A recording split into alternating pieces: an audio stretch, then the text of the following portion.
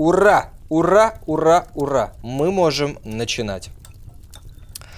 Всем чмок пузика. Мы продолжаем Элизера Ютковского.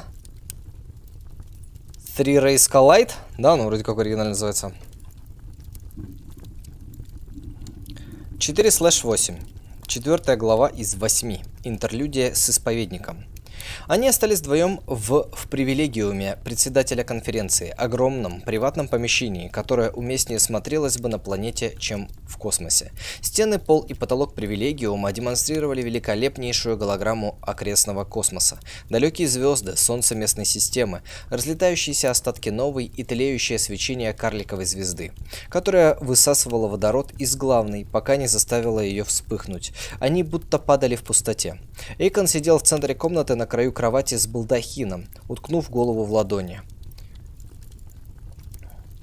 Усталость притупила его ум в самый неподходящий момент. Так всегда бывало в кризисных ситуациях, но это оказалось особенно скверной. При данных обстоятельствах он даже не решался занюхать дорожку кофеина, чтобы не сместить свои приоритеты. Человечество до сих пор не изобрело чистого, чисто энергетического наркотика, такого, что усиливал бы мышление, но не в малейшей степени... Алик поддержал нас точку и сообщает Затрагивал... чувство. Когда человека можно Эмоции увести из еяния, но еяния из человека нет. Https двоеточие слэш слэш и точка Imgur точка com слэш говбитый 0 точка jpg. Так, ссылочка какая-то от Алика. Сомневаюсь, что нам по формату э, такая ссылочка. Я посмотрю, конечно, что у тебя там за Imgur.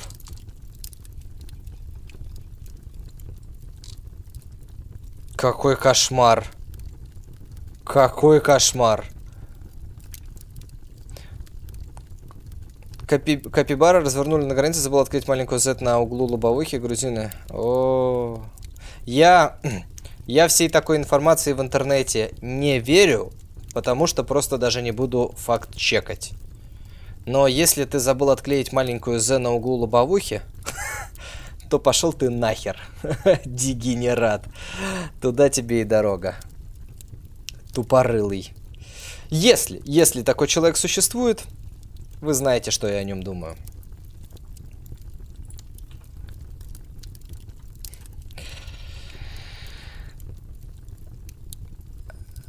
Так. Такого, что усиливал, усиливал бы мышление, но ни в малейшей степени не затрагивал эмоции и ценности. Кофеин, кстати, затрагивает эмоции, будь здоров.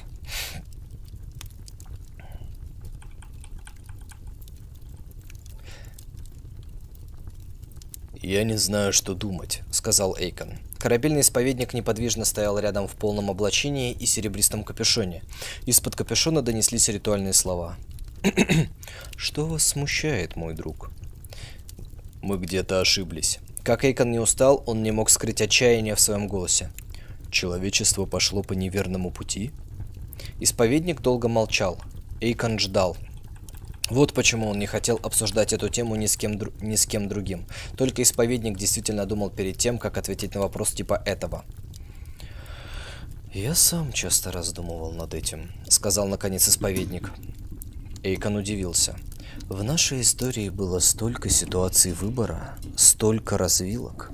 Каковы шансы, что мы сделали верный выбор на каждой?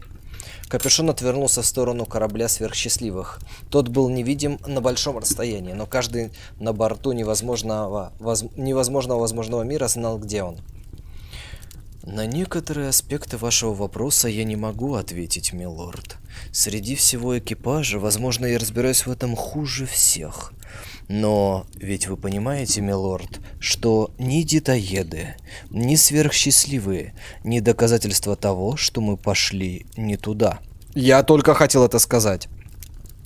Если вы не переживали из-за этого раньше, нет причин начинать переживать сейчас. Детоеды борются за право есть детей, сверхсчастливые хотят быть сверхсчастливы. Но не то, ни другое не указывает нам, как правильно. Они не задаются нашим вопросом, и неважно, какое слово их языка переводчик связал с нашим словом «должны». Если вас смущает только это, милорд, возможно, я готов развеять ваши сомнения. «Я знаю теорию», — устало сказал Эйкон. «Мне пришлось учить метаэтику в раннем детстве, 16 лет от роду, еще совершенным ребенком. Просто так, без оснований, я ни за что не поддался бы соблазну поверить, что Бог или онтологически фундаментальные моральные факты, или что-нибудь еще имеет право избавить меня от сомнений». Эйкон склонился ниже.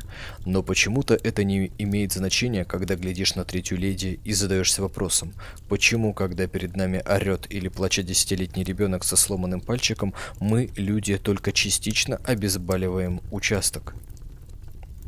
Капюшон исповедника вновь развернулся в сторону Эйкона.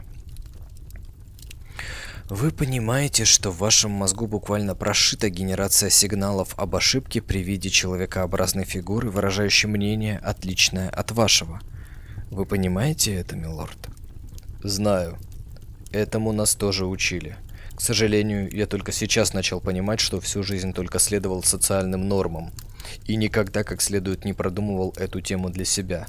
До сегодня. Из-под капюшона донесся вздох.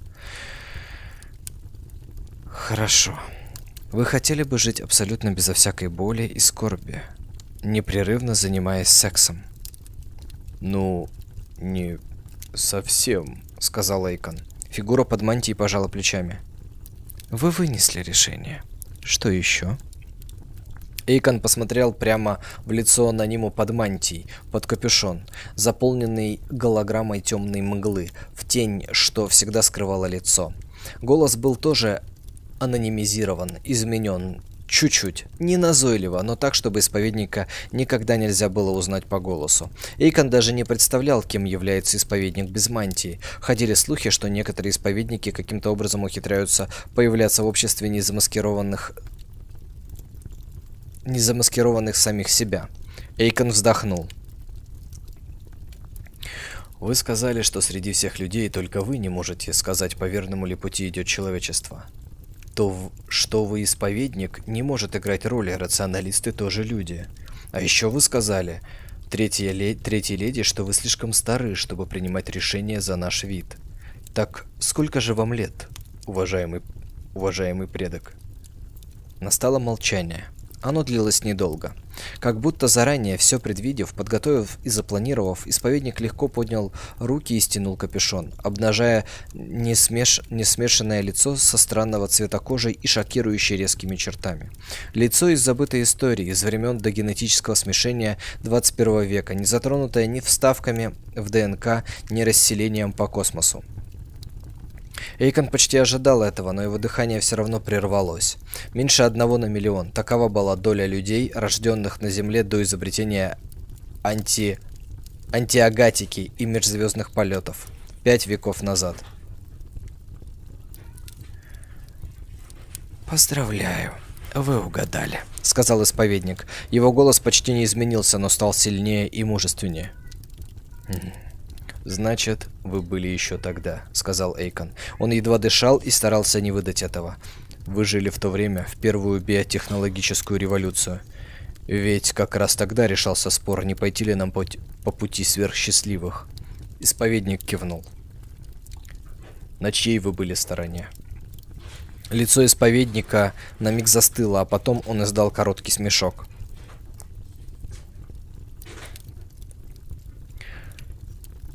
Вы совершенно не представляете, что тогда происходило. Думаю, это естественно. Не понимаю, сказал Эйкон.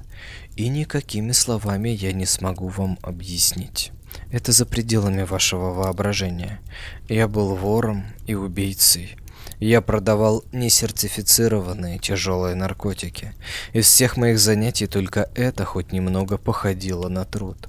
Даже не пытайтесь вообразить, милорд, мой уважаемый потомок, что мне когда-либо предлагали встать на чью-нибудь сторону. Эйкон отвел глаза от жгучего взгляда несмешанного несмешанного человека. Было что-то неправильное в слабой тени гнева, который владел им и сейчас, через 500 лет. «Но прошло время», — сказал исповедник, — «и все изменилось». Его взгляд больше не фокусировался на Эйконе. Он смотрел куда-то далеко. Есть старое изречение.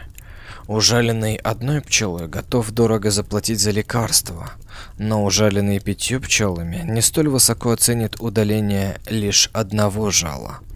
Таково было человечество в древние времена. Глубоко неправильный мир, где скудные ресурсы альтруизма разбрасывались между десятью тысячами страдальцев и ни одного не спасали. И все-таки... В какой-то момент мы перешли рубеж, продолжал исповедник, безо всякого заметного апокалипсиса. Стало меньше войн, меньше голода, продвинулись технологии, выросла экономика. У людей стало больше ресурсов на благотворительность, и альтруистам все реже приходилось выбирать между объектами помощи. Однажды они пришли даже ко мне и выручили меня. Земля очистилась. С тех пор, как только появлялась серьезная угроза, вся планета бросалась на нее и устраняла опасность. Люди наконец научились действовать сообща. Исповедник подвигал челюстями, как будто что-то застряло у него в горле. Сомневаюсь, что вы способны вообразить, мой уважаемый потомок, какой невозможной мечтой это было когда-то. Но я не назову избранный путь ошибочным. Нет, я могу вообразить, спокойно сказал Эйкон. Я как-то пытался читать интернет эпохи до рассвета. Я думал, что хочу знать... Да, я действительно хотел, но... Я просто не смог выдержать. Вряд ли кто-либо кроме нас, кроме вас на нашем корабле смог бы. Уважаемый предок, почему бы нам не спросить вашего совета, что делать с детоедами и сверхсчастливыми? Вы же единственный из нас, кто действовал в настолько чрезвычайных ситуациях. «Нет», — сказал исповедник, словно изрек абсолютный запрет откуда-то из-за пределов Вселенной. «Вы — тот мир, который мы хотели создать. Хотя я не могу говорить «мы». Это просто искажение памяти, романтический отблеск на истории, погруженный в туман. В то время я не был одним из тех мечтателей. Я просто был заключен в собственный кокон. Чуть попозже, через часок, наверное. Хорошо, спасибо. То время я не был одним из тех мечтателей. Sorry, я просто был заключен в собственный кокон страдания. Но если моя боль значила хоть что-то, Эйкон, то лишь как часть цены, уплаченной за мир, лучший, чем тот. Если древняя земля вас ужасает, разве это не значит, что все удалось как надо? Вы прекрасны, светлые дети, и это ваш мир, и вам самим решать, что с ним теперь делать. Эйкон пытался было возразить. Исповедник остановил его жестом.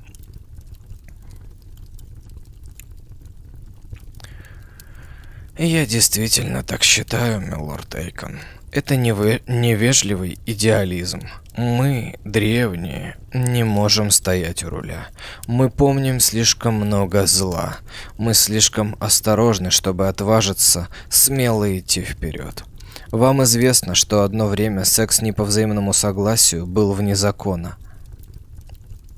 Эйкон не знал, улыбаться ему или морщиться.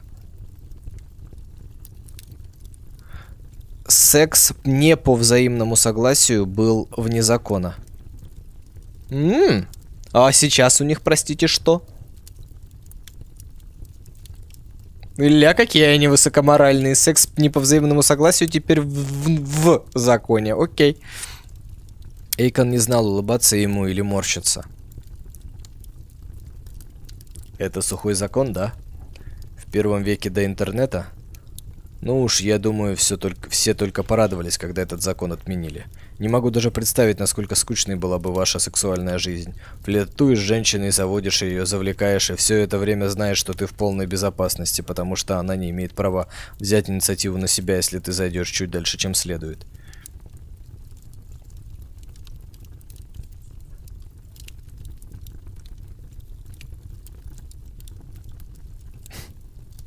Окей. Окей. Окей. С Modern Problems, Modern Solutions. Вам нужно. Звучит как новая демографическая политика. Вам нужно освежить ваши знания истории, милорд-администратор, на достаточно общем уровне. Я хочу вам сказать, и это не общедоступная информация, что мы почти пытались свергнуть ваше правительство. Что? Спросил Эйкон. Исповедники? Нет.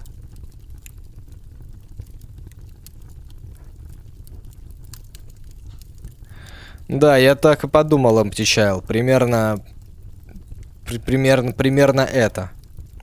Что типа, мол, а про человечество ли мы сейчас говорим? Типа, пока что мы читали произведения, мы ассоциировали, типа, детоедов, э, сланишитских пипек и себя как третий, как третий корабль. Но на деле это нифига не мы, не третий корабль. Это абсолютно другие люди, которые к нам не имеют вообще никакого отношения. Но он это, к сожалению, сделал очень топорненько и грубо, потому что тут типа э, не по согласию, вне закона, очень, очень формулировка дурацкая получилась.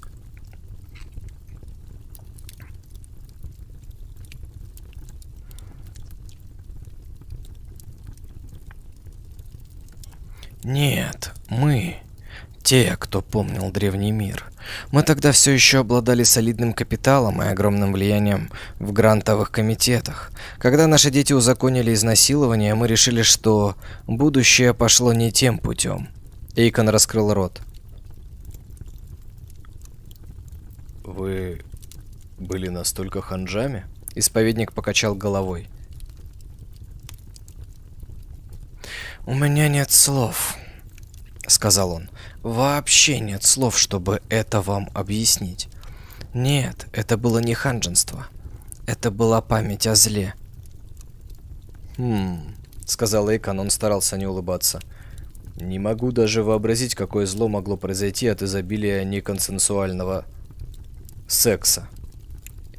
«И не пробуйте, милорд», — сказал исповедник. Он наконец засмеялся, но несколько страдальчески. «Без, так сказать, личного опыта вы действительно не сможете вообразить. И пытаться бессмысленно. Ладно. Из чистого любопытства. Много ли вы потеряли? Исповедник как будто на мгновение замер. Что? Много ли вы потеряли на рынке законотворческих прогнозов, когда поставили деньги на какие-нибудь ужасные последствия отмены запрета? «Нет, вам действительно не понять», — сказал исповедник. Теперь его улыбка была настоящей. «Но теперь вы знаете, да? После этого разговора вам ясно, почему меня нельзя допускать к принятию решений за человечество». Эйкон смутился. Это было странно. Он чувствовал нутром, но не мог объяснить словами почему. Он просто ощущал неправильность. «Теперь вы знаете», — повторил исповедник, «и поскольку мы помним так много зла, и поскольку для этой профессии хорошо быть пятисотлетними, многие из нас стали исповедниками. Нам легко проповедовать пессимизм, ведь в большинстве случаев рационалисту приходится остужать людей, а не подбодрять. Мы советуем, но не руководим, спорим, но не решаем. Мы идем вместе с вами и стараемся не слишком впадать в шок от того, что радуемся жизни почти так же, как вы. Да вы сами окажетесь в моей роли через 500 лет, если человечество переживет эту неделю. А, да, сухо сказал Эйкон. Чужие. Текущий предмет обсуждения.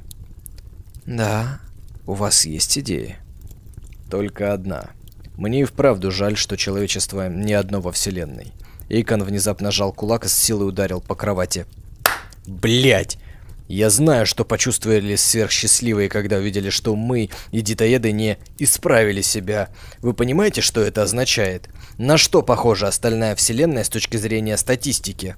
Пусть даже в нашей выборке всего два экземпляра. Наверняка где-то есть симпатичные соседи. Точно так же, как в глубинах бесконечной вселенной наверняка есть моя точная копия вплоть до отдельных атомов. Но все, кого мы реально встретим, вероятно, окажутся... Эйкон перевел дыхание. Черт, ведь никто не думал, что будет так. Всех трех видов есть эмпатия, есть симпатия, есть ощущение справедливости. Да у детоедов даже есть литература, даже искусство. Разве этого недостаточно? Разве не казалось, что этого достаточно? Но все, что мы имеем, это достаточно похожая система отсчета, в которой мы друг, друг для друга кошмар. «Не поймите неправильно», — сказал исповедник. «Но я рад, что мы встретили детоедов». Слова застряли у Эйкона в глотке. «Что?» Полуулыбка искривила лицо исповедника. «Потому что если бы мы не встретили детоедов, мы не смогли бы спасти их детей, не так ли? Если бы мы не знали о них, это не означало бы, что их нет. Дети детоедов все равно существовали бы, все равно умирали бы в ужасной агонии. Мы просто не могли бы им помочь». Не зная мы о детях, они не лежали бы на нашей совести, ни на нашей ответственности. Нет, это не та задача, для которой вы, вероятно, оптимизированы. Исповедник сделал паузу.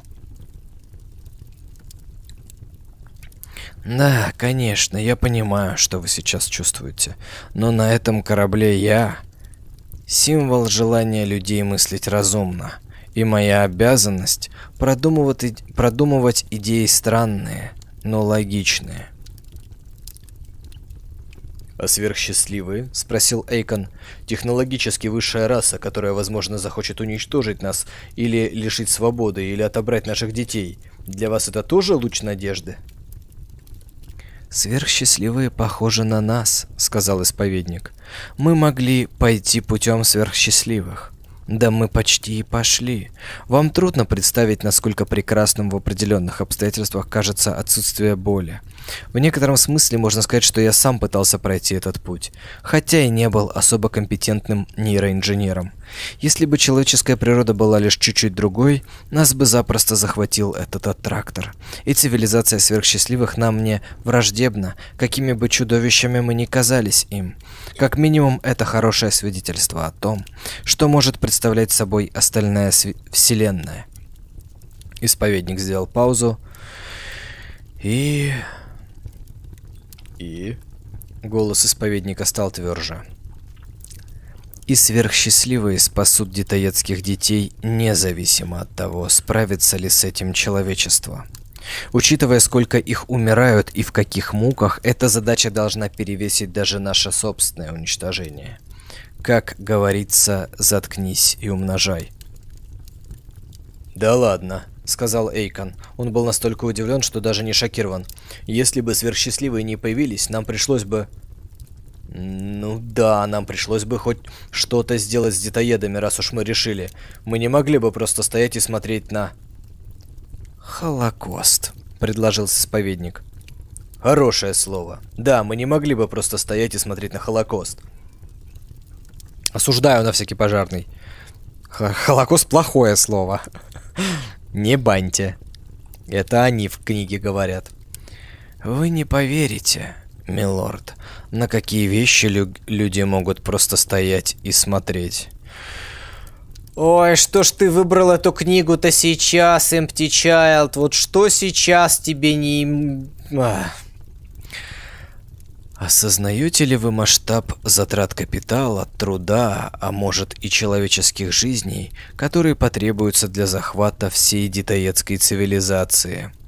Отследить каждый отрезок их туннельной сети, довести наше технологическое превосходство до предела и построить настолько быстрые корабли, чтобы они догоняли каждый убегающий дитоедский корабль. «Сори», — говорит Empty Child. Надо говорить sorry, not sorry. Понимаете ли вы? Пипец как в тему, да? Жесть. Аж, аж, аж трясет. Простите, но это просто фактическая ошибка. Боже, подумал Эйкон, не часто приходится говорить такое исповеднику. Сейчас не времена вашего детства, уважаемый предок. Мы теперь объединенное, мать его, человечество. Если бы не пришли сверхсчастливые, нам пришлось бы сделать все для спасения детаецких детей. Вы же видели лорда-пилота, леди Сенсор? Они были готовы отделиться от цивилизации, лишь бы сделать эту работу. Именно так, уважаемый предок, отреагирует большинство. «Ненадолго», — сказал исповедник. «Когда впервые услышат новости. Когда разговоры еще ничего не будут стоить. Когда они еще не увидят расценок. Пипец, so true and real. А когда увидят, вот тут-то и настанет неловкое молчание. Каждый будет сидеть и ждать, что действовать начнет кто-то другой. И быстрее, чем вы можете вообразить. Люди привыкнут к такому положению. Все будет выглядеть совсем не так шокирующе, как в начале. Детоедские дети умирают в ужасной агонии в желудках своих родителей.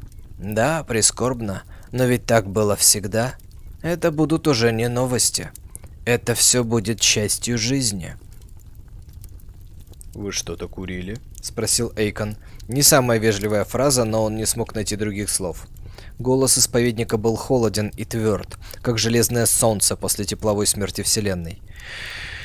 Невинное дитя, если бы вы видели, как вашего старшего брата у вас на глазах избивают до полусмерти и как вяло полиция расследует дело, если бы вы видели, как ваши бабки и деды усыхают, как испорченные фрукты, и уходят из жизни, а вы сами ни единым словом не протестуете, потому что считаете это нормальным, вот тогда вы имели бы право говорить мне о том, на какие вещи люди способны закрывать глаза глаза.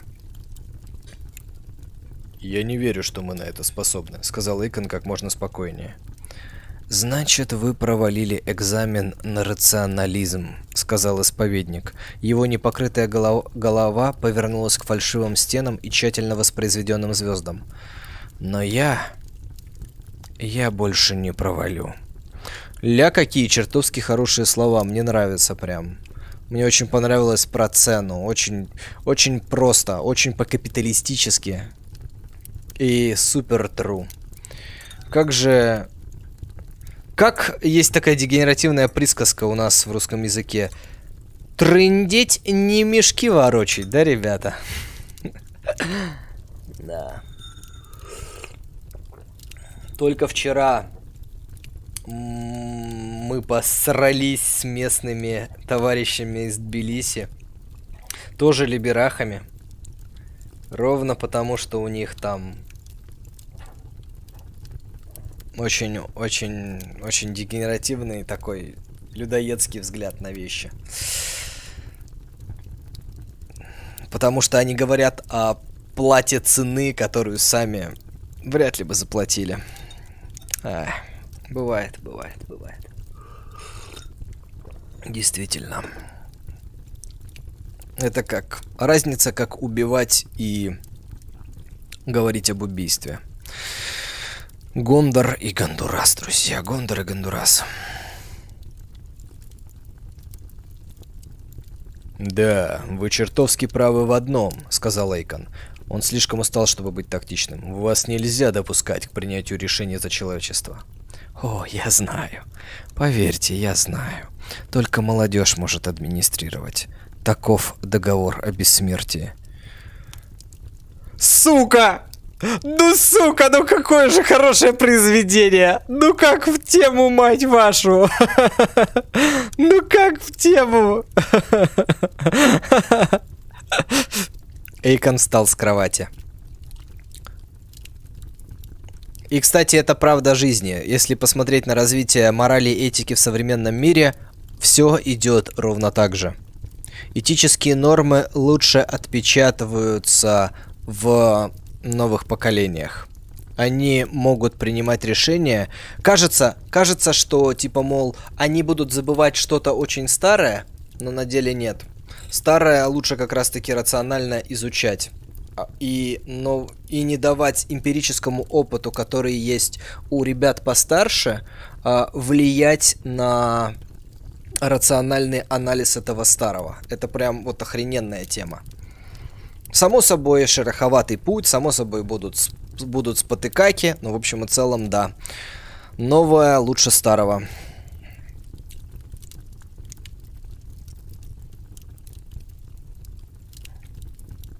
Эйкон встал с кровати. «Спасибо, исповедник, вы мне помогли». Легким отработанным движением исповедник накинул капюшон на голову, и его жесткие черты исчезли во тьме. «Правда?» — спросил он, искаженный голос прозвучал до странности мягко после прежнего мужественного и сильного. «Как?» Эйкон пожал плечами. Ему трудно было найти слова. Все из-за страшного бега времени сквозь столетия. И таких гигантских перемен, которые уже свершились гораздо более глубоких, чем пережитые им за всю жизнь из-за храбрости, необходимой для встречи с будущим, и жертв, принесенных ради него.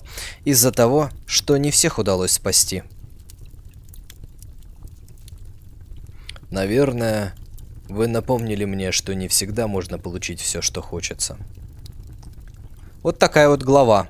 Мне понравился их диалог. Он офигенный. Да.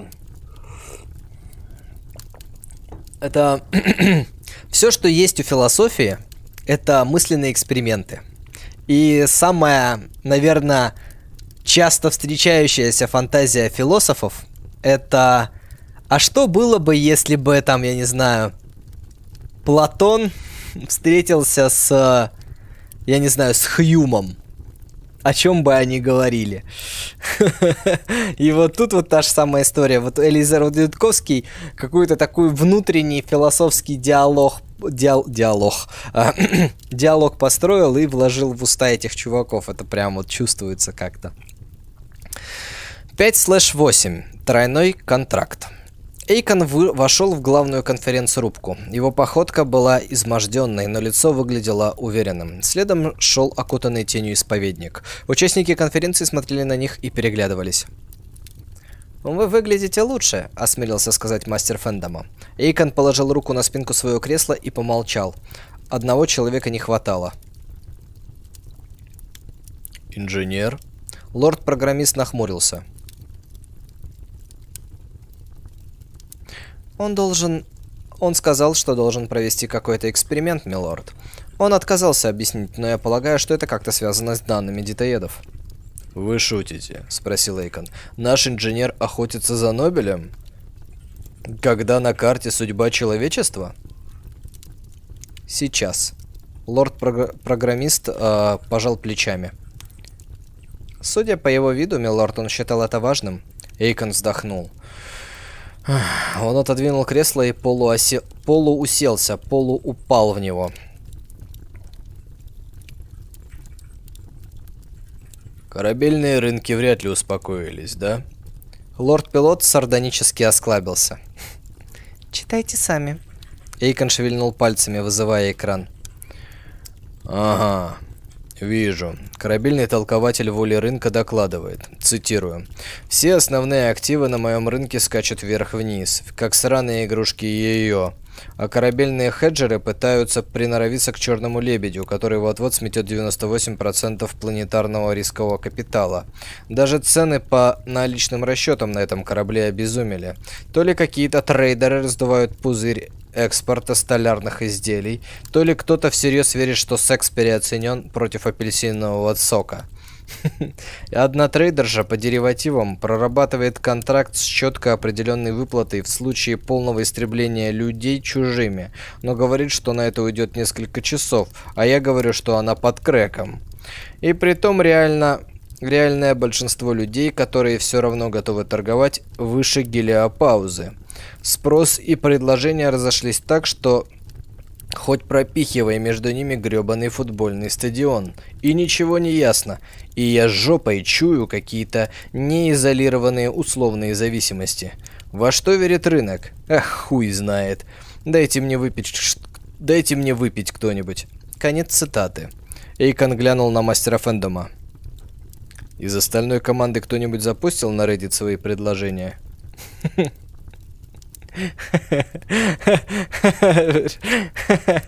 Да, я знал, что на самом деле что Фанда и Reddit впечатляют Элизера Ютковского. Но на самом деле, что Фанда, что Reddit это в нынешнем виде, в котором они сейчас есть, это то, что возможно только в эпохе постмодерна, которая сейчас, по сути, только зарождается и э, дает нам какие-то новые непонятные плоды, которые, с которыми мы, которые мы уже имеем на руках, но еще пока до конца не понимаем, что с ними делать. Один Бетховен чего стоит. Уверен, от крипты и лезера просто в восторге.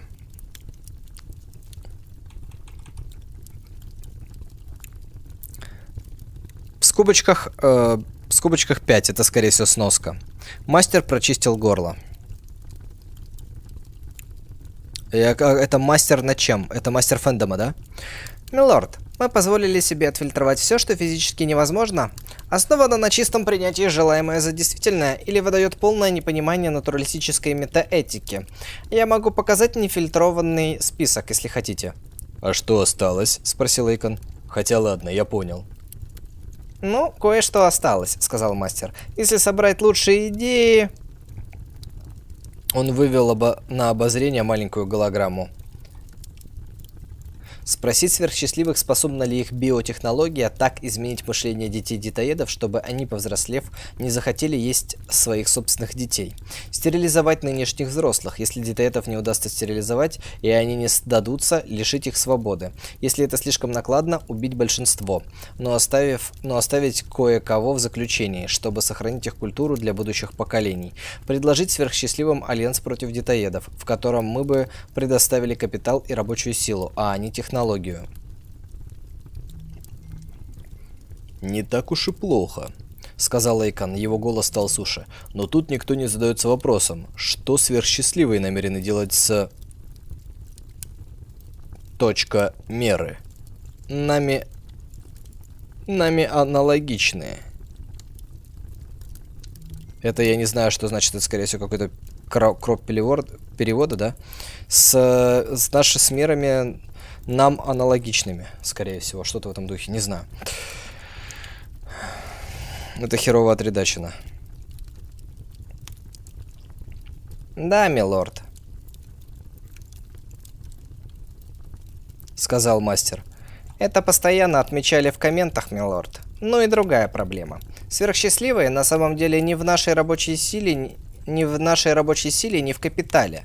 Мастер глянул в сторону, в сторону лорда-программиста, ксенопсихолога и леди-сенсор. «Не нуждаются». Это имеется в виду, что не нуждаются в, наших, в нашей помощи. Да. Тут опять. Nice crop shit, лорд, sorry. «Милорд», — сказал лорд-программист, — «похоже, что сверхсчастливые думают немного, намного быстрее нас. Если их когнитивная система основана на чем-то вроде ДНК, а не нейронов, то это неудивительно. На самом деле странно, что ускорение настолько, настолько же мало, как...» Лорд-программист замолчал и сглотнул.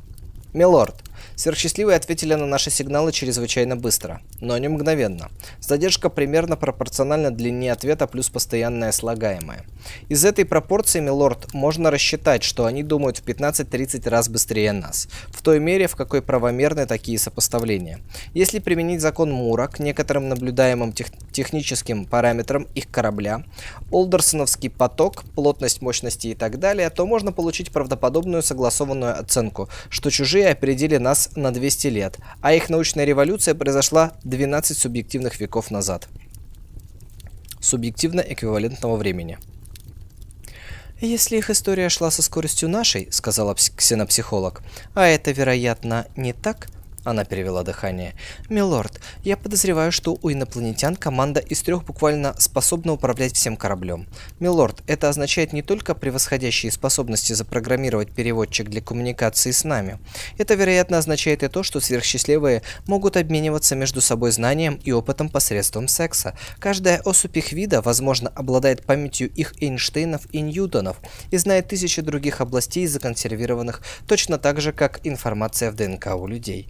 Милорд, я предполагаю, что их аналог Галилея жил около 30 объективных лет назад по звездному времени, и что они вышли в космос около 20 лет назад.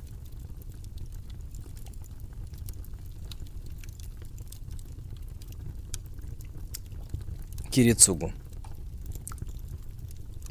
Не знаю, что это означает. Кирицугу это их э, бледная, бледная Кирицугу, которая с ними говорит.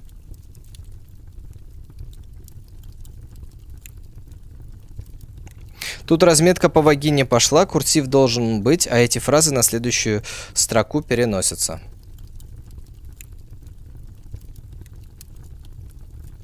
Угу.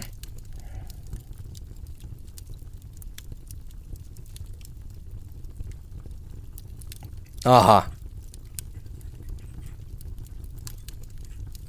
«Их корабль зеркально симметричен», — сказала леди Сенсор.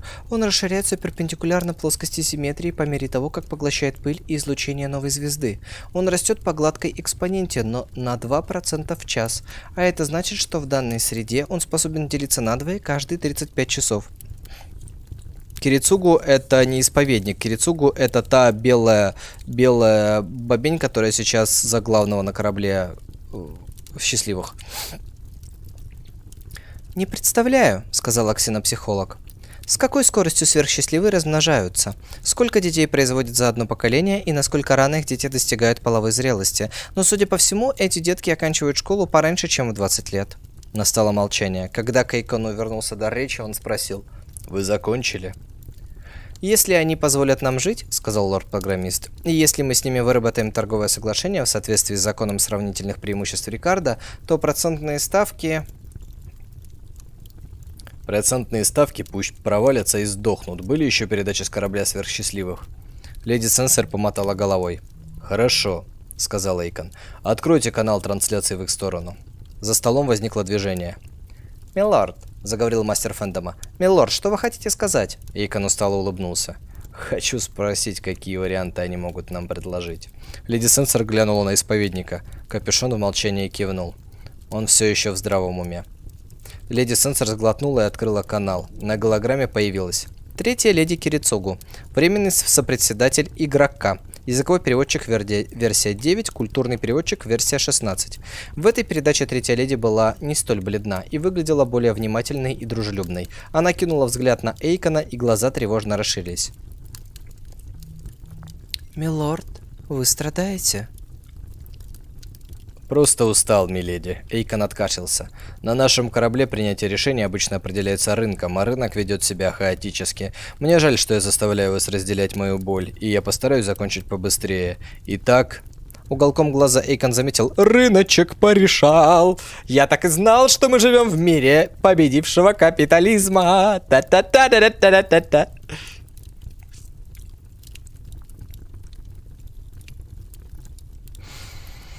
Уголком глаза Эйкон отметил, что инженер вернулся в комнату. Инженер, похоже, собирался что-то сказать, но замер при виде голограммы. Сейчас было не до него. «Итак», — сказал Эйкон, — «мы пришли к выводу, что принципиальные решения весьма сильно зависят от вашего уровня технологий. Что, по-вашему, вы реально способны с нами... На что реально вы способны с нами или детоедами сделать?» Третья леди выдохнул, вздохнула. Мне следует вначале получить от вас независимую составляющую, а уж потом передать свою. Вам стоило хотя бы об этом подумать. Но тут уж нам вряд ли повезет. Может, я просто расскажу, что мы сейчас планируем?» Эйкон кивнул. «Я уже приноровился, ребята, слова вписывать внутрь. Чувствуете, да?» Эйкон кивнул. «Это будет весьма ценно, миледи», его напряженные мышцы отчасти расслабились. Культурный переводчик версии 16 был намного проще для его мозга. Икон отстраненно подумал, что сейчас, наверное, его трансформированный аватар мастерски предается любви с третьей леди. «Хорошо», — сказала она. «Мы считаем, что основа для дальнейших переговоров очевидна. Достичь такого компромиссного сочетания функций полезности наших трех видов, которое взаимно удовлетворит нас всех и компенсирует требуем требуемые изменения. Детоеды должны уступить, перейдя к поеданию детей в досознательном возрасте. Nice, nice компромисс! Для этого эффективнее всего будет изменить жизненный цикл самих детей. Мы даже сможем наделить этих несознающих детей инстинктивным желанием убегать, кричать и генерировать простые словесные возражения. Но не позволим их мозгам развить самосознание вплоть до конца охоты. Эйкон выпрямился, это действительно звучало по-своему довольно милосердно. «Наши два вида», — продолжала третья леди, — «желающие изменить детоедов, должны предоставить им компенсацию, а именно принять их ценности, сделав наши собственные цивилизации более привлекательными в их глазах. Мы должны переделать себя так, чтобы рожать больше детей и съедать большинство из них на максимально поздней до сознательной стадии. Бичеват! Что? Конференц-рубка застыла, никто не двигался. Даже лица не изменили выражений. Ну, блинский магнитофон. А я могу, там, я не знаю, за... мы можем договориться на том, что вот у женщины месячные, мы берем, набираем это в стакан, и специально обученные месяеды, мы их будем называть, будут это делать.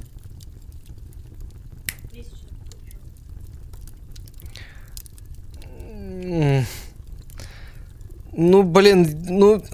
А что поделаешь? Ну, по-другому это уже странновато будет. Хотя и так на грани.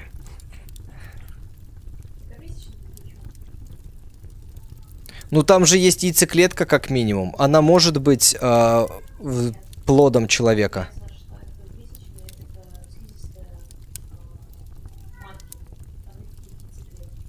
В месячных нет яйцеклеток?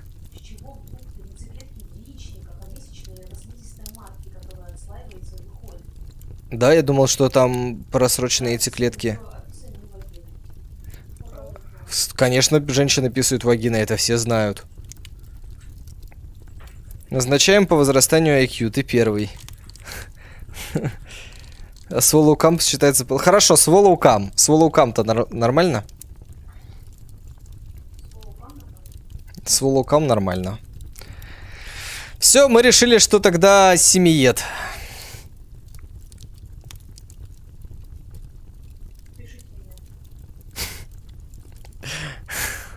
Господи. Ай. Так. В памяти Эйкона внезапно вновь вспыхнули те змеящиеся взаимопроникающие визуально пузыри. Болезненные. Культурный переводчик мог изменить картину, но не реальность. Маловероятно, что детоеды примут эту переделку, продолжала третья леди. Ее придется навязывать силой. Что касается тебя, человечества, мы рассчитываем, что ты проявишь больше здравого смысла. Но оба ваши вида, вы и детоеды, обязаны ликвидировать у себя физическую боль, стыд и любовные терзания. В обмен мы изменим наши собственные ценности в сторону ваших. Мы изменимся так, чтобы желать наслаждений более сложного характера, но не настолько, чтобы общая сумма наслаждений заметно уменьшилась. Мы научимся творить искусство, приятное для вас. Мы усвоим чувство юмора, хотя лгать мы не будем. С точки зрения людей и детоедов, наша цивилизация приобретет много привлекательных черт, которые ранее которых ранее не имела. Такова компенсация, которую мы предлагаем вам. Далее мы настоятельно просим принять от нас в дар, который, как мы считаем, усилит на его собственных условиях ценность того, что вы называете любовью. Он также позволит нашим видам заниматься сексом друг с другом посредством механических приспособлений, чего мы страстно желаем. В итоге всех этих процедур все три вида будут удовлетворять ценностям друг друга и приобретут общий фундамент, на котором мы сможем строить цивилизацию. Эйкон медленно кивнул. Это было невероятно цивилизованно. Возможно, это была лучшая в своей категории генеральная процедура переговоров при столкновении миров. Третья леди просияла. Кивок означает согласие человечества. «Он означает, что мы приняли ваше предложение во внимание», — сказал Эйкон. «Нам нужно его обдумать». «Понимаю», — сказала третья леди. «Пожалуйста, думайте как можно быстрее. Пока вы думаете, детоедские дети умирают в кошмарной агонии». «Понимаю», — эхом повторил Эйкон и дал знак прервать связь. Голограмма погасла. Настало долгое страшное молчание. «Нет», это сказал лорд-пилот холодно, ровно, непререкаемо. Вновь молчание. Так получается так. Нет. «Милорд», — сказала ксенопсихолог очень тихо, как будто боялась, что за эти слова ее разорвут в клочья. «Мне кажется, они не предложили нам варианта отказа». На самом деле, сказал Эйкон, они нам предложили гораздо больше, чем мы хотели предложить детоедам. Даже не думали о компенсации. Эйкон заметил, что, как ни странно, его голос очень спокоен, может быть, даже мертвенно спокоен. Сверхсчастливый, очень справедливый народ. Такое впечатление, что они предложили бы в точности такое решение, даже не будь они сильнее всех.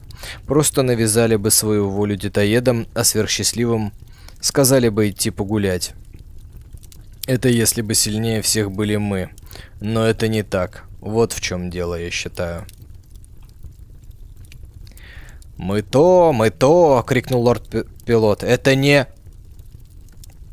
Эйкон посмотрел на него все еще мертвенно спокойный. Лорд-пилот глубоко дышал, но не то чтобы успокоиться, а будто готовился к схватке посреди какой-то несуществующей доисторической саванны. «Они хотят превратить нас в каких-то нелюдей!» Как ты читаешь? А как... Ты серьезно не видишь пропусков в предложениях? Нет, не вижу. А, вы типа про то, что... Да это без разницы, здесь суть-то не потерялась. Не знаю, не, не, короче, не приставайте, нет, все нормально. Я слежу за этим. Слежу за этим и слежу хорошо. Я не забил, я забил на это дело, потому что здесь суть не меняется. Мы не... Мы не можем, мы не должны позволить «Предложи что-то получше или заткнись», — без выражения сказал лорд-программист. «Сверхсчастливые умнее нас, технологически выше, думают быстрее, а возможно быстрее и размножаются. Нечего надеяться остановить их военной силой. Если мы улетим, сверхсчастливые нас догонят на более быстрых кораблях. Нет способа запереть открытый туннель, и нет способа скрыть, что он существует». «Э-э-э», сказал инженер. Все повернулись к нему. «Э-э-э», повторил инженер. «Милорд-администратор, я должен кое-что сказать вам наедине». Исповедник покачал головой.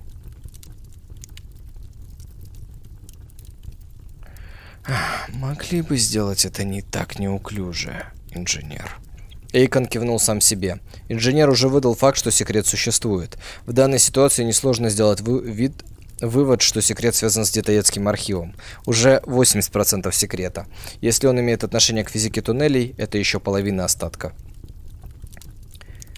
«Инженер», — сказал Эйкон, — «поскольку ты уже открыл существование секрета, открой его всей конференции. Нам надо быть синхронизированными друг с другом. Две головы не комитет. Позже будем думать, как все засекретить».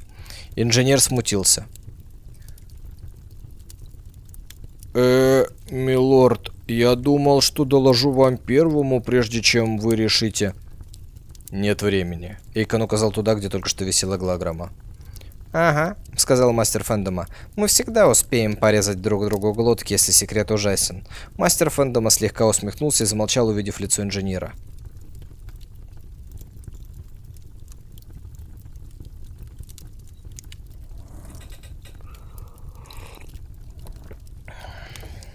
Так, а вот где здесь настолько впихнуть надо было? Да нет, здесь фигня полная.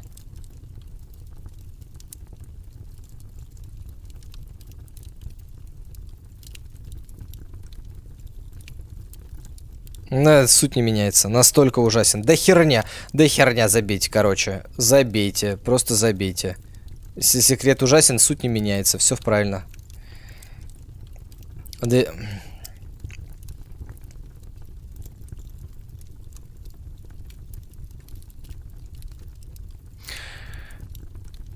«Как вам угодно, милорд», — сказал инженер. Он глубоко вздохнул. «Я попросил лорда-программиста сопоставить все поддающиеся идентификации уравнения и константы в научном архиве детоедов с аналогичными наш... нашим. Большинство идентификацион... иде... идентифицированных аналогов, конечно, совпали. Кое-где наши числа точнее, благодаря нашему... Э, более высокому уровню технологий. Но есть аномалия. Детоедское значение значение Олдерсоновской константы связи на 10 порядков больше нашего. Лорд-пилот присвистнул. Звезды небесные, как они умудрились? Он...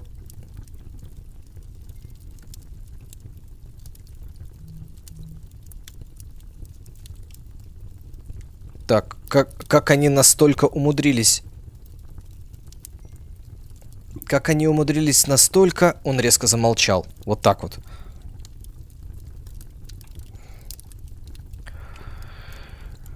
Олдерсон, Олдерсоновская константа связи, повторил Эйкон. То есть связи между взаимодействием Олдерсона и...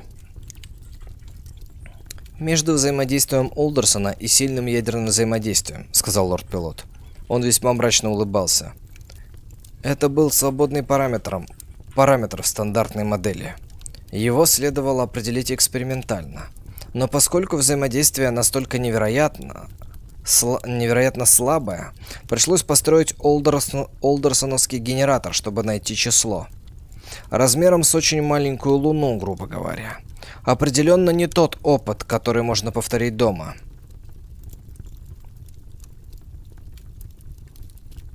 Где гигантский у нас... Это он, типа, размером с луну. Гигантский. Размером с очень маленькую луну, грубо говоря. Гигантский олдерсонский генератор. Вот так вот. Определенно не тот опыт, который можно повторить дома. Это история из учебников физики, милорды и миледи. Мастер Фэндома нахмурился. Ты что, хочешь сказать, что физики подделали результат, чтобы получить денег на большой проект? Он выглядел удивленным. Нет, сказал лорд-пилот. Не из любви к мощным штукам. Инженер, детаецкое значение должно поддаваться проверке на нашем корабельном двигателе Олдерсона. Если константа связи настолько сильна. Ты проверил? Инженер кивнул. Детаецкое значение верно, милорд. Инженер был бледен. Лорд-пилот сжал челюсти в сардоническом оскале. «Пожалуйста, объясни», — сказал Эйкон. «Вселенная погибнет через миллиард лет или что? Потому что если так, то, вре... то время терпит «Милорд», — сказал исповедник, — «представьте, что законы физики нашего мира позволили бы древним грекам создать эквивалент ядерной бомбы из веществ, валяющихся под ногами. Представьте, что законы физики позволяют разрушать целые страны с легкостью изготовления пороха. История пошла бы по-другому, правда?» Эйкон непонимающе кивнул. «Ну, да», она была бы короче.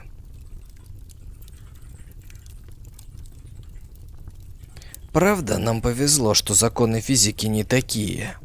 Что в наши дни законы физики позволяют изготовить дешевое и непобедимое супероружие. Эйкон поднял бровь.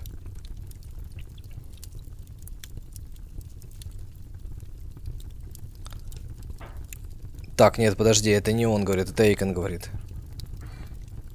Правда, нам повезло, что законы, физи... что законы физики не такие. Что в наши дни законы физики не позволяют изготовить дешевое непобедимое оружие? Эйкон поднял бровь. «Но, милорд», — сказал исповедник, — «действительно ли мы знаем то, что мы знаем? Какие факты мы видим?» «Вы, вам вы», Какие факты мы видели бы, если бы законы физики были другими? В конце концов, если физик...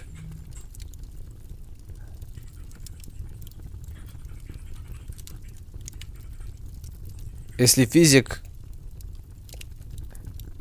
Как нам кажется... Что? Если физикам физикам и удалось открыть легкий доступ к чудовищным разрушительным силам на уже имеющиеся техниками, техники, побежали бы вы всем рассказывать. Господи, как сложно стало. Может таки откопать нормальный текст? Да. Это типа разговор про опенгеймера и Сахарова, что ли? Так, давайте, по... может быть, это кроп? А, кроп такой, типа, плохой. Если я сдвину... Если я сделаю зум... Нет, ничего не изменится.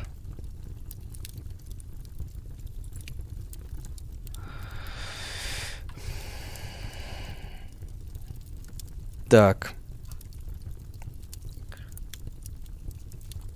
Да читай по ссылке просто. Блин, ладно, хорошо, пойду по ссылке читать. Так это же... Так это же то же самое. Ну ладно. А, это курсив типа такой. Все понятно. Вот собака. Я теперь понял, что здесь зафакаплено. Так. Ой, это я... Надо скопировать сначала. Здесь теперь сделать увеличение. Сойдет. Вот такое увеличение мне нравится. О, сойдет. Но, милорд, сказал исповедник, действительно ли мы знаем то, что мы, как нам кажется, знаем? Какие отличающиеся факты мы видели бы, если бы законы физики были другими? В конце концов, если вы физик и вам удалось открыть легкий доступ к чудовищным разрушительным силам не на уже имеющейся технике, вы побежали бы всем рассказывать? Человек, человеки, да, сделали бы это. «Нет», — ответил Лейкон. Он ощущал какую-то слабость внизу живота. «Я бы оставил открытие в тайне и выдумал легенду, чтобы отводить других от исследований в этой области». Лорд-пилот издал наполовину смех, наполовину что-то гораздо худшее. Худшее.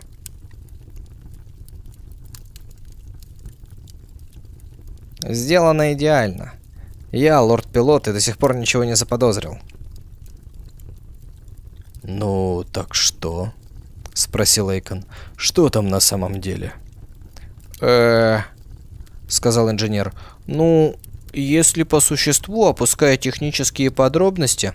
Инженер перевел дыхание.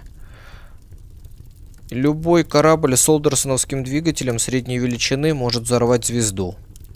Молчание. «В принципе, это плохая новость», — сказал лорд-пилот. Но конкретно в нашей ситуации, вот здесь и сейчас, оно-то нам и нужно. Простая вспышка новой ничего им не сделает. Но если рванет вся звезда целиком... Он снова едко усмехнулся. Нет звезды, нет туннелей. Мы можем превратить главную звезду системы в сверхновую. Главную звезду, а не белый, кар... а не белый карлик. И тогда сверхсчастливые нас не найдут. Не смогут проникнуть в человеческую сеть туннелей. Мы погибнем если кого-то волнуют такие мелочи. Лорд-пилот обвел взглядом стол конференции. А вас волнуют? Кстати, правильный ответ нет. Меня волнует, тихо сказала леди Сенсор. И даже очень. Но... Она положила руки на стол и склонила голову. За столом закивали. Лорд-пилот глянул на инженера.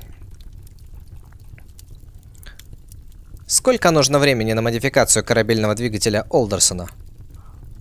«Он готов», — сказал инженер, — «но...» «Нам надо э, под подождать, пока сверхсчастливые уберутся, чтобы они не засекли наши действия». Лорд-пилот кивнул. «Уже похоже на план». «Ладно, теперь можно расслабиться. А уж я-то решил, что вся человеческая раса обречена. Не мы одни». Он вопросительно поглядел на Эйкона. «Милорд?» Эйкон сидел, подперев голову руками, и почему-то чувствовал больше усталости, чем когда-либо в своей жизни. По другую сторону стола сидел исповедник и смотрел на него. Или Эйкону так казалось, но капюшон был повернут в его сторону. «Я же вам говорил», — молчал исповедник. «Кое-что не так с твоим планом», — сказал Эйкон. «А именно?» — спросил лорд-пилот. «Ты кое-что забыл. Одну крайне важную вещь. Однажды ты поклялся защищать это. Все непонимающе смотрели на него. «Если ты говоришь про что-нибудь чертовски смешное, типа безопасности корабля», — начал лорд-пилот. Леди Сенсор охнула. «О нет!» — пробормотала она. «О нет! Дети детоедов!» Лорда-пилота будто ударили в живот. Мрачные улыбки за столом сменились гримасами ужаса. «Да», — сказал Эйкон. Он смотрел в сторону. Ему не хотелось видеть ничью реакцию. Сверхсчастливые не доберутся до нас, но и до детоедов, но и до детоедов тоже, как и мы. И детоеды будут пожирать своих детей и дальше, и дети будут умирать целыми днями в желудках своих родителей. Вечно. Человеческая раса этого стоит? Эйкон снова бросил взгляд на людей за столом. Ксенопсихолог казалась больной, слезы бежали по щекам мастера, а лорд-пилота как будто медленно разрывали медленно разрывали пополам. Лорд-программист выглядел отстраненно. Леди Сенсор закрывала лицо руками, а лицо исповедника по-прежнему пряталось в тени под серебристым капюшоном. Эйкон закрыл глаза.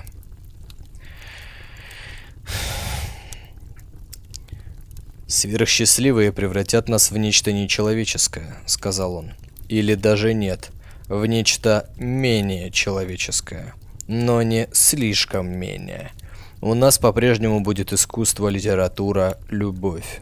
И я немало времени провел без боли. В целом это не так уж плохо. Слова застревали в горле. Ему было очень страшно. Ну ладно. Если остаться самими собой настолько важно, то у нас есть вариант. Вопрос лишь в цене. Принести в жертву детоедских детей –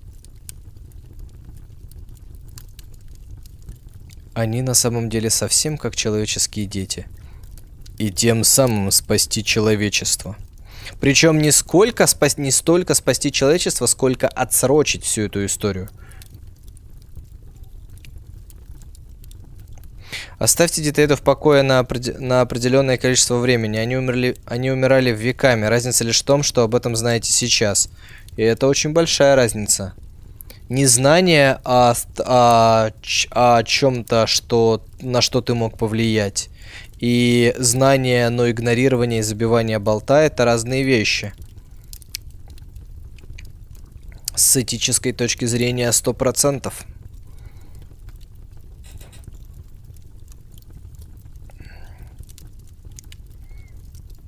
Кто-то кричал. Тонкий подавленный визг, не похожий ни на какой звук из тех, что Эйкон прежде слышал или хотел бы услышать.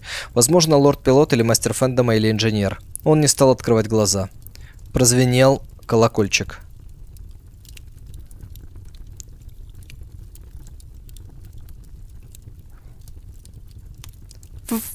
«Вызов с, с корабля с...» выдавила леди Сенсор из себя слова как кислоту. «Сверхсчастливых, милорд!» Эйкон открыл глаза, но, почему, но почему-то тьма не рассеялась. «Принять». Перед ним возникла третья леди Кирицугу. Ее глаза расширились при виде Эйкона, но она промолчала. «Да, миледи, я не сверхсчастливо выгляжу». «Человечество, мы ждем твоего ответа», — просто сказала она. Лорд-администратор сжал переносицу, потер глаза. Но не абсурдно ли, что одному человеку приходится отвечать на такой вопрос? Ему хотелось спихнуть решение на комитет, на большинство голосов, на рынок, на что-нибудь не требующее ни от кого полной ответственности. Но эти способы не годились для управления кораблем в обычных обстоятельствах и вряд ли сгодились бы в необычных. Он администратор. Он должен выслушать все аргументы, просуммировать их и вынести решение. Эксперименты показали, что никакая организационная структура из неадминистраторов не справится с тем, к чему он подготовлен и на что мотивирован. Все работающие способы были просто включены в административную процедуру взвешивания аргументов. Личное решение. Личная ответственность в случае ошибки. Абсолютная власть и абсолютная подотчетность. И никогда не забывайте второе, милорд. А не то вылетите с работы, как только вернетесь домой. Одна непростительная ошибка, милорд, и вся ваша лежащая на депозите зарплата за 120 лет, источник столь приятно стабильного дохода, испарится, не успеете вы вздохнуть. Ах да, на этот раз будет платить еще и весь человеческий род.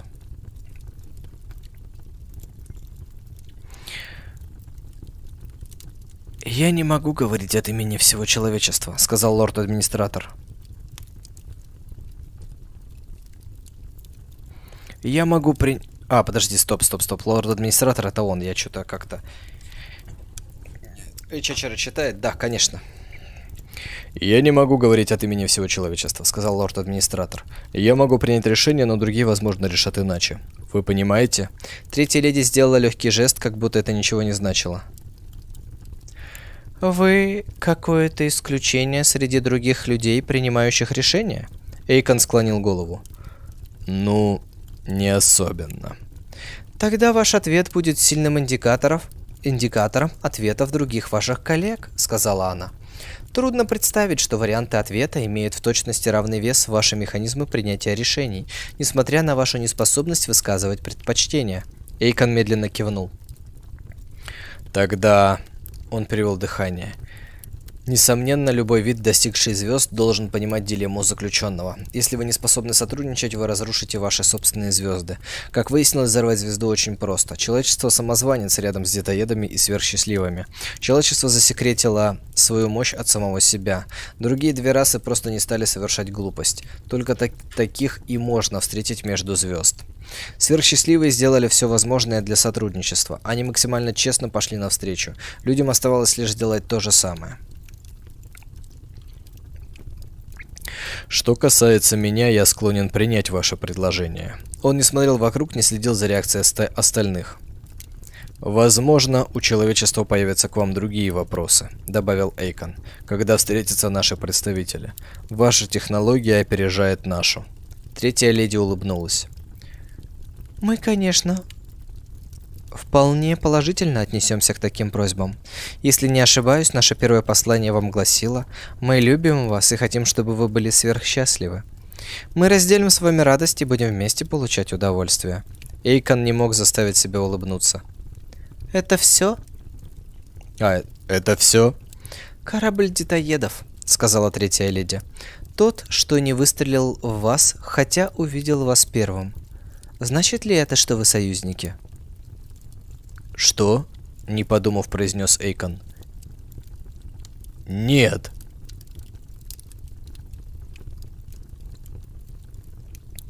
«Милорд!» — крикнул исповедник, но слишком поздно. «Милорд!» — голос леди Сенсор надломился. Сверхсчастливые выстрелили в корабль детоедов и уничтожили. Эйкон в ужасе уставился на третью леди. «Сожалею», — сказала третья леди Кирицугу. Но наши с ними переговоры провалились. Как мы и предсказывали. Мы ничего им не должны и ничего не обещали. Теперь будет гораздо легче проникнуть в их туннельную сеть, когда мы вернемся. Любая задержка причинит страдания их детям. Понимаете, милорд? «Да», — сказал Эйкон подрагивающим голосом. «Понимаю, миледи Кирицугу». Ему хотелось протестовать, кричать, но война только начиналась, и это, возможно, могло, спа могло спасти. «Вы предупредите их?» — спросила третья леди. «Нет», — ответил Эйкон. Это было правдой. Трансформация детоедов будет проведена раньше вашей. Мы оцениваем длительность этой операции в несколько недель вашего времени. Надеюсь, вы не против того, чтобы подождать. Это все, сказала третья, третья леди и голограмма погасла. «Корабль сверхсчастливых уходит», — доложила леди Сенсор. Она тихо плакала, но продолжала исполнять обязанности. «Они нацелены на вход в свой туннель». «Хорошо», — сказал Эйкон. «Поехали домой. Мы должны отчитаться о переговорах». Раздался невнятный рев, будто чья-то глотка пыталась взломать стены конференц-рубки, и лорд-пилот вырвался из кресла, выломав все наложенные им на себя крепления, и бросился вперед. Но исповедник, который незамеченным стоял за спиной, у, за спиной Эйкона, высунул из рукава маленький парализатор. Он один на корабле имел право применить это оружие в случае чего-либо явного умопомешательства. Молниеносным движением исповедник скинул руку. Первое. И вырубил лорда-пилота. Глава 6. Последние слезы. Второе. И вырубил лорда Эйкона. Глава 7. Жертвенный огонь. Ага, тут типа разные разные произ... произведения типа разветвляются? Ну ничего себе. Ну ничего себе, ничего себе.